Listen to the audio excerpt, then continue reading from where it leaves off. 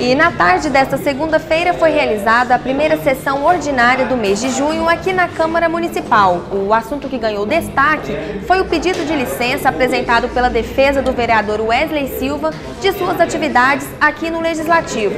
Quem falou sobre este assunto foi o presidente da casa, vereador Hamilton Batista, do PTB.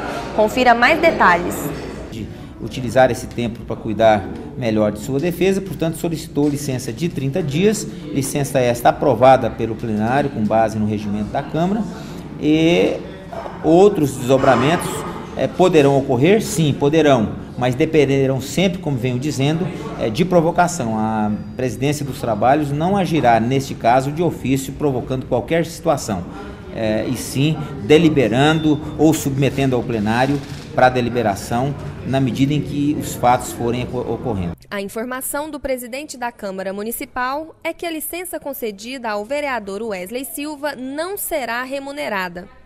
O regimento não prevê, nesse caso, a remuneração. A partir de hoje, portanto, ele se encontra de licença por 30 dias, licença esta concedida sem remuneração, também com base no regimento interno da casa. Hamilton Batista explicou ainda que as sessões ordinárias do mês de maio serão realizadas com os 14 demais vereadores.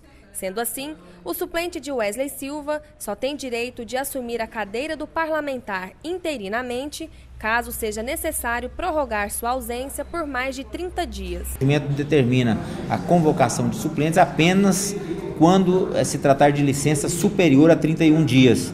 É, no caso de vacância até 30 dias, funcionaremos apenas com 14 vereadores e vereadoras.